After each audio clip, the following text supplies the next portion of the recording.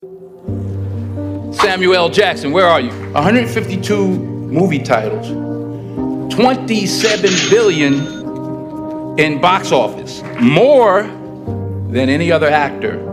Here's what you don't know. These are the organizations that Samuel L. Jackson give to.